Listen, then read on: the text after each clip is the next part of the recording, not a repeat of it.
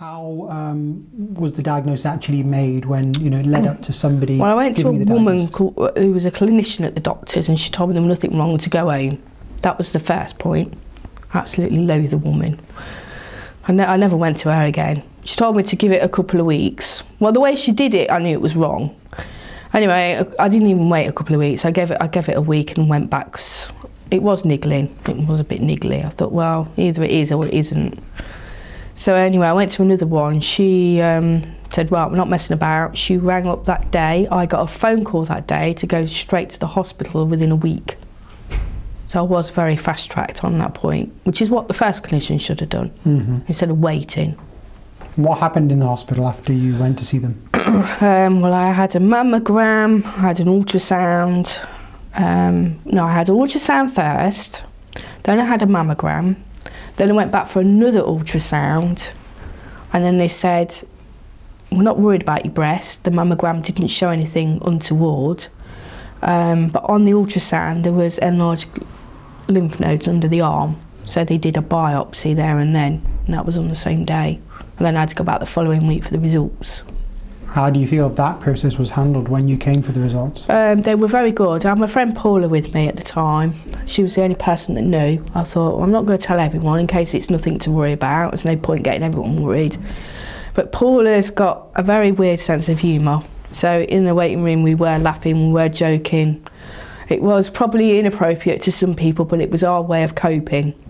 So um, yeah, that wasn't too bad. Thankfully for having Paula there. Mm. So. I think it can be important to take somebody with you, Even possible. just one person, yeah, someone that you trust that knows, you know, won't tell anyone. and not everyone's able to do that. no, I mean, not about- everyone. I about mean, some people 30%. don't. Some people don't like to. I mean, my friend Maureen doesn't like anyone there with her at all. She likes to deal with it on her own. But it's each to her, you know, what you want. Yeah, I guess it's a personal choice, Yeah. providing there is somebody who you can take if you want to take. Yeah, One thing we're trying to do here, which hasn't really got off the ground yet, is provide people with an advocate. If they don't have somebody who they can uh, personally take as a friend or family yeah, a bit like a befriending project. Yeah, That'd be really like good. That would. Yeah, so, it's um, someone out of the family then, isn't it, as well?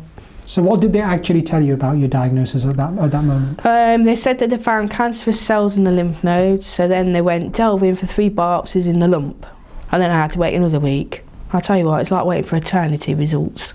It's a long process. It is a, a a week is provoking. a week is a very very long time while waiting for results. Mm. I mean, the first week I just kept myself so busy, I didn't have time to keep my feet on the floor, and I was so tired by the end of the day, I just slept. Intentionally, you use that as a technique. Yeah, I did for the first week, but the second week I- couldn't do the same. It was just another week of worry. And unfortunately, some people have even longer waits for Yeah. various reasons. I, I know my friend's waiting for months for a little boy to go through some different tests, but that, Mm. that must be horrific. Mm. A week's, you know, ages, but months is even worse. Sometimes when you're given the diagnosis, people vary on how much information they actually want, and clinicians struggle to know should I give like as much information as possible or just the minimum information that's necessary. What's your view on that? I'd like to know everything, Mm. but that's just my opinion. Yeah. I like to know everything inside and out and upside down and topsy turvy. Yeah.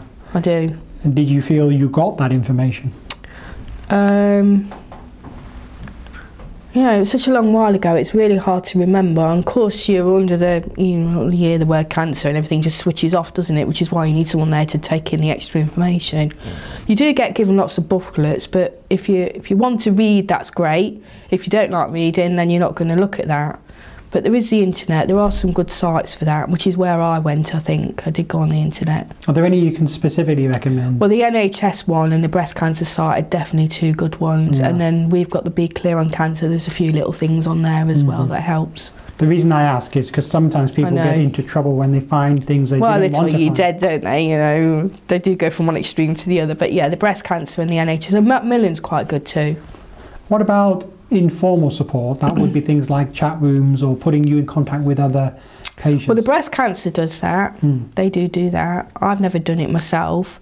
I've done it via Facebook, and on the breast cancer, I've made friends, and then we've just got together. And I've made a friend called Sue who lives in Nottingham. We quite see each other quite a lot now. Oh, you actually meet up as well? Yeah, And you yeah. met met that friend through Facebook? Facebook, Wow, yeah. I mean, that shows Yeah. you how things are going these days, doesn't it? Yeah.